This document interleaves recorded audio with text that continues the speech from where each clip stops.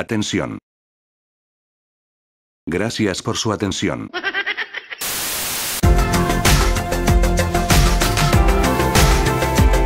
Momento, esa no es la intro correcta.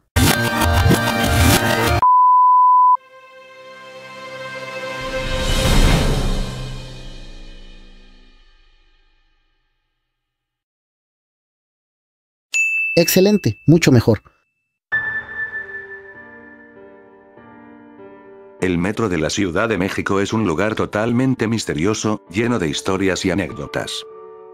En cada una de las 195 estaciones ocurren sucesos inexplicables. En una de ellas, la estación Chabacano.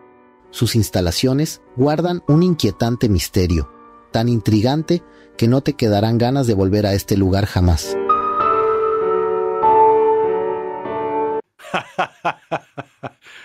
Ah, ah. Mentira. ¿Alguna vez te has preguntado seguramente de todas las historias que ha de contar el metro chabacano si éste hablara? ¿En serio? Claro. Suena extraño, pero un solo lugar te puede contar cientos y cientos de historias. Pero tranquilo, te puedo asegurar que no son historias paranormales ni cuentos de terror. ¿O sí?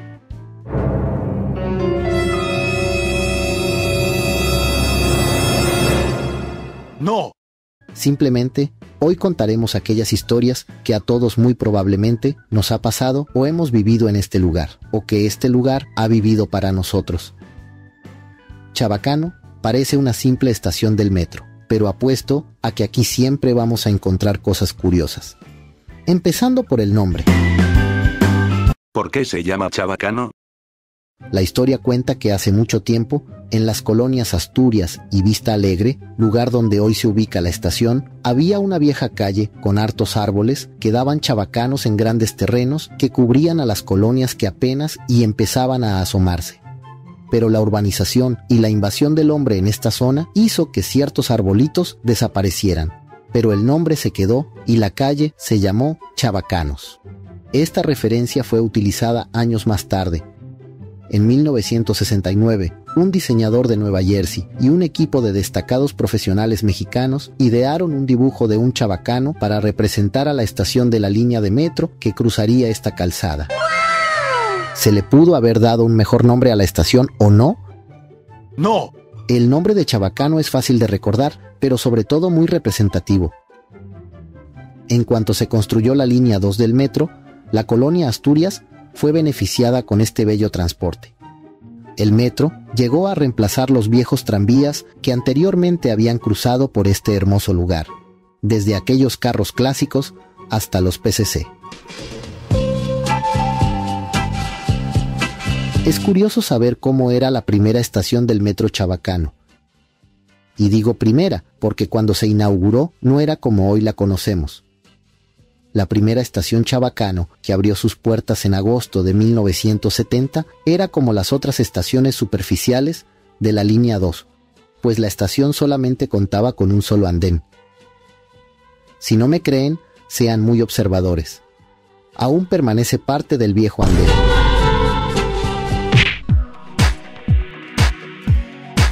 Y pues sí, inéditamente existe una fotografía donde se puede apreciar mejor cómo era la estación antes de su remodelación. Bajo ese diseño de un solo andén, la estación duró por 15 años, porque a mediados de los años 80 se construye la línea 9 del metro.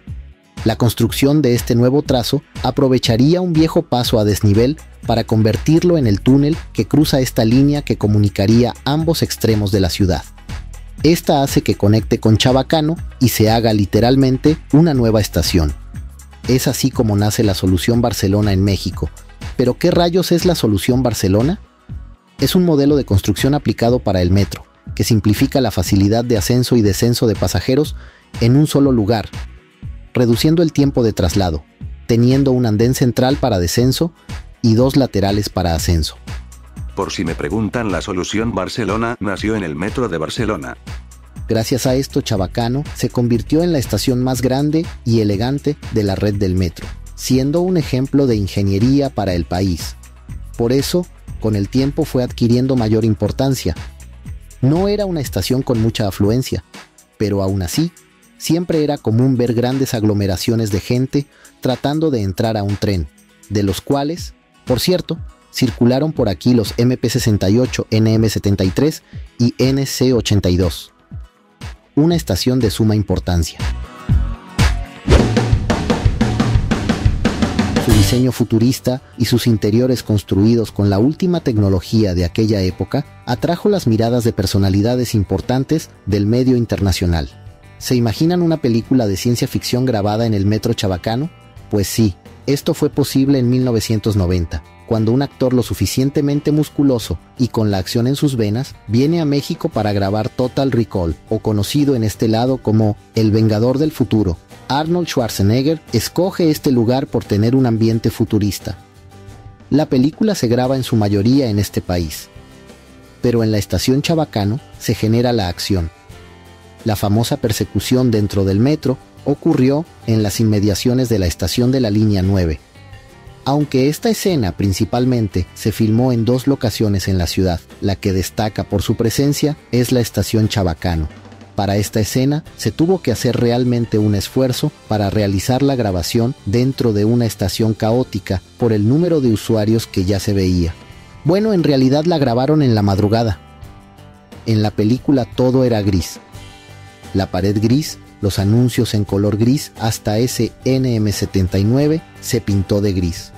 Realmente le quisieron dar un ambiente futurista, obvio con la moda ochentera. Tan solo miren esos cabellos o esas pantallas que parecía que habían ido a comprar al Viana. Pero vamos, así veían el futuro. La estación en poco tiempo fue adaptada para la película, siendo así que taparían todo lo relacionado con el metro. Logotipos, señalización, correspondencia. Ah, pero el color de la línea no lo quitaron. La película entonces se desarrolla en la estación Chabacano, aparentando ser otra. Obvio le cambiaron el nombre, no fue la gran cosa, de hecho. La escena principal implica una persecución de ¿Qué es esto? ¿Ya vieron? Repite, por favor. Un letrero de correspondencia. Ah, caray, se les fue en la edición. ¿En qué estábamos? Así. Cuenta la leyenda que, si miras por las noches al techo de la estación, podrás notar aún restos de, de la película. O bueno, restos de pintura que representa la sangre de la película.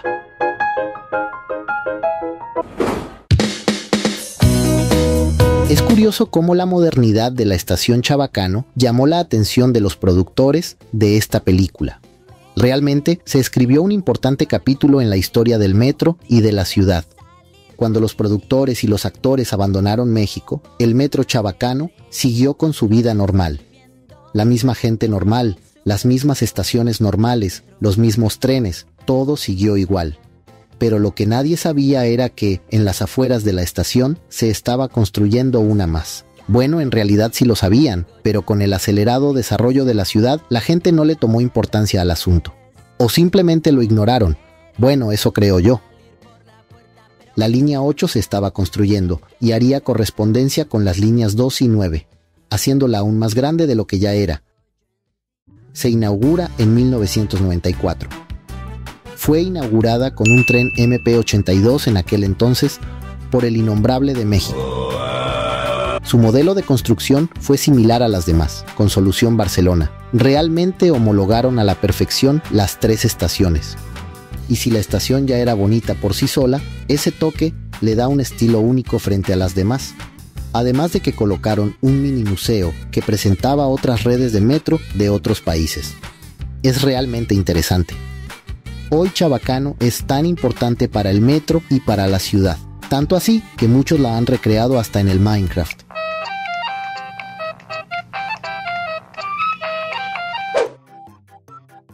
Ahora siempre que viajas en metro es inevitable pensar en esta estación, ya sea de día o de noche, siempre, realmente siempre, habrá gente, muchísima gente. A pesar de no ser de las de mayor afluencia de la red, el número de usuarios registrado es impresionante. Pasar por aquí en hora pico, sí que te sacará un dolor de cabeza y otras cosas. Si tienes suerte de salir entero aquí, serás todo un máster.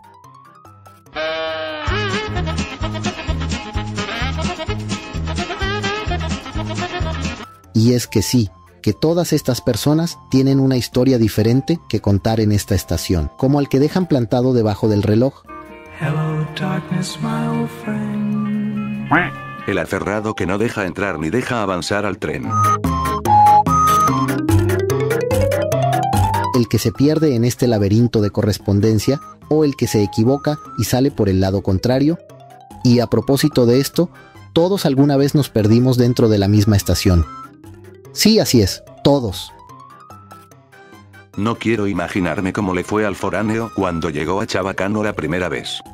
Y es que unos no saben cómo llegar a la línea 2 y otros realmente sí que están perdidos. Aquí porque estamos porque el cosa se nos volvió a perder, pero esta vez solo en el metro. Ya vamos a buscarlo.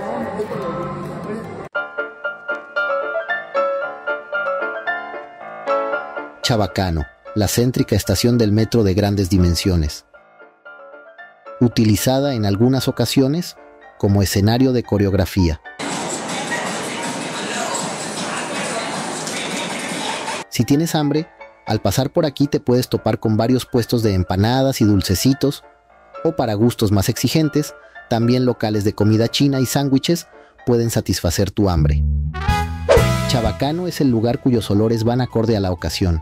Sí, por un lado, huele a biscuits, churros y a pizza, a zapata quemada del tren y sobre todo a sudor, mucho sudor. Si en el metro vas a viajar, tu axilita debes lavar. ¿Ya vieron este mural?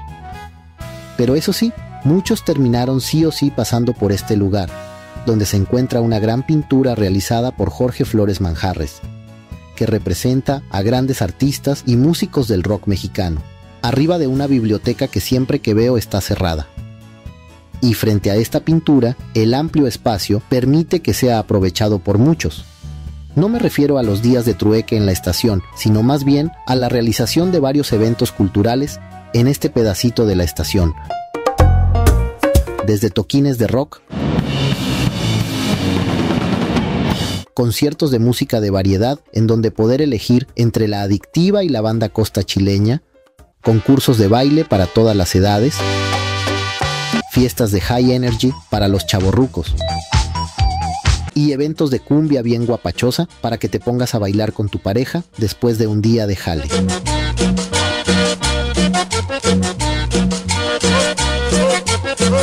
Todos estos pequeños eventos culturales dedicados para la gente que no gusta del reggaetón y los corridos tumbados. Para gustos exquisitos, el compositor Javier Álvarez le dedica a la estación una melodía sinfónica, llamada precisamente Metro Chabacano. Es un deleite escuchar esta majestuosa pieza inspirada en esta estación. Hasta aparece en alguno que otro comercial y cortinilla de televisión. Chabacano es un icono de la ciudad. Pues también diversos artistas anónimos la utilizan para plasmar sus ideas.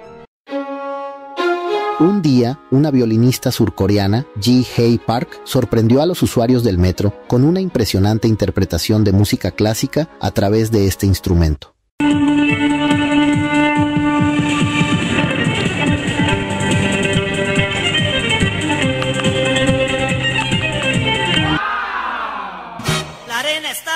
Hasta momentos deportivos ha tenido este lugar. Imagina que un día vas caminando por la correspondencia de línea 2 a línea 9 cuando de repente te encuentras a Mascarita Sagrada y a la Parquita en un cuadrilátero. ¿En serio? ¿Lucha libre en el metro chabacano?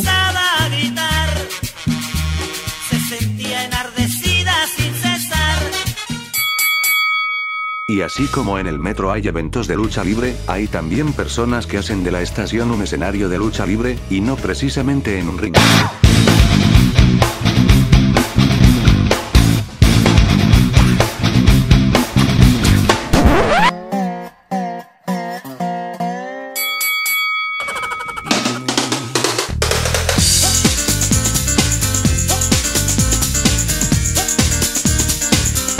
Algo que hay que destacar es que en esta estación se puede dar un taco de ojo cuando se realiza el viaje sin pantalones en el metro.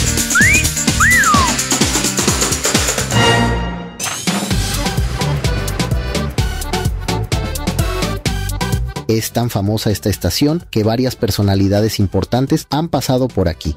Luchadores, Danonino, Box Bunny, Capitán América y hasta un presidente de los Estados Unidos pasó por Chabacano. Bueno, aunque solo pasó de paso.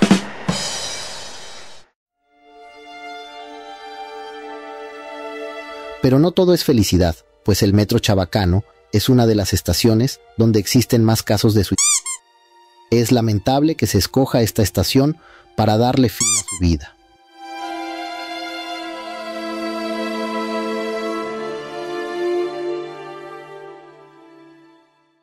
Pero existen otros tipos que escogen esta estación para jugar con su vida.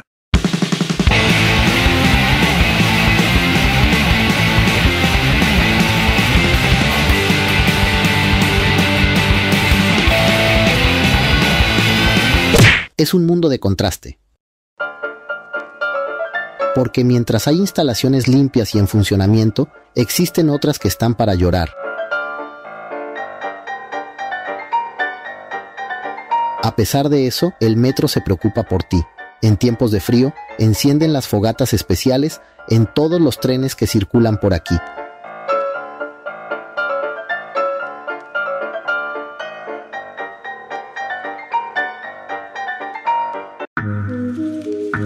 la estación donde pasan cosas extrañas.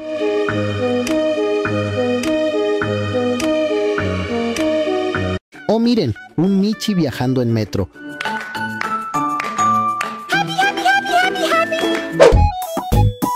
Hablando de gatitos, que me dicen del tianguis temático de la simpática Hello Kitty.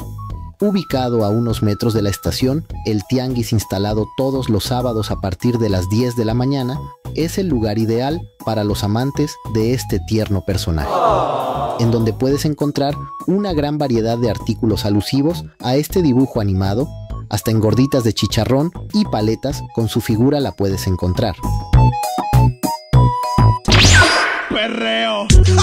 Chabacano, una estación preferida por reggaetoneros y chacas y no precisamente porque cada 15 días pasa por aquí la barra del América que se dirigen al Estadio Azteca, sino otro tipo de reggaetoneros, esos que les gusta echar desmadre con una de guayaba en una mano. ¿Ah, no me creen? Aprecien este precioso momento. Lamento los inconvenientes, pero YouTube no quiere que veamos esto. En todos los pasillos siempre habrá puestecitos de dulces, de paletas, de curiosidades y hasta de accesorios para el teléfono. Si pasas por aquí, no podrás resistirte a un bubu frío o unos chetos con harta salsa de la que pica. Puedes comprar audífonos de 10 pesitos, llaveritos de moda, lamparitas, adornitos y todas esas cositas que uno siempre quiso tener.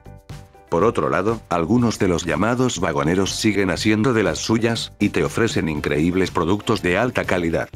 Pero tranquilos, que estas personas solo hacen su trabajo.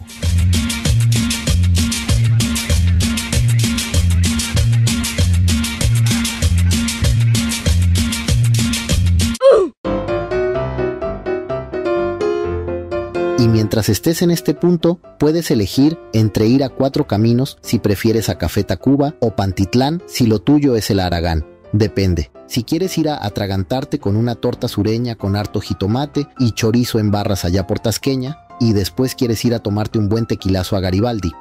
O si eres de barrio y vas a Iztapalapa en dirección Constitución de 1917, o si te sientes de varo y vas a las zonas nice de Las Lomas y Santa Fe, puedes ir a Tacubaya. Lo que tú seas, lo que tú prefieras, lo que tu destino te diga, el punto de partida siempre será Chabacán. Y si al final del día sales literalmente del metro chabacano, puedes degustar un platillo típico mexicano, quesadillas, carnitas, taquitos de sesos o un buen pozolito de una fonda que yace la esquina. Puedes salir por línea 9, donde una vieja y deteriorada escultura adorna la entrada. Por línea 8 para que veas una solitaria calle o por línea 2 para que sientas el verdadero color de la ciudad. Si pasas por aquí, encontrarás muy buenos lugares donde podrás entretenerte y satisfacer tus encantos.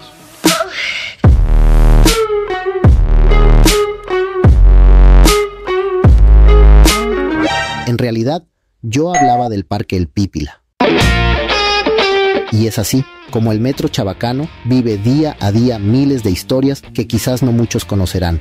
Pero como te conté, la red del metro es muy grande y extensa.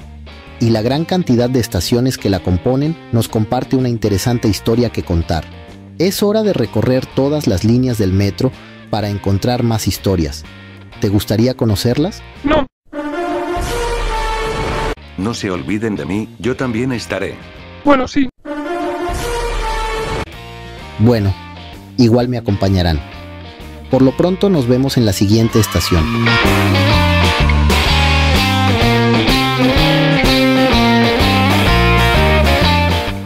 Saludos muy especiales para los destacados miembros de este canal. Neo Artur, Ulises Manzano, Eduardo Cortés López, Fausto Rivadavia, Julio Rodríguez, Iván Holguín, Francisco Horn Martínez, Ibuquio Sirio y Redo Vigian. Si tú también quieres formar parte de este equipo, te dejaré la liga en la descripción con todos los detalles y a cambio obtén beneficios interesantes. Muchas gracias por tu apoyo.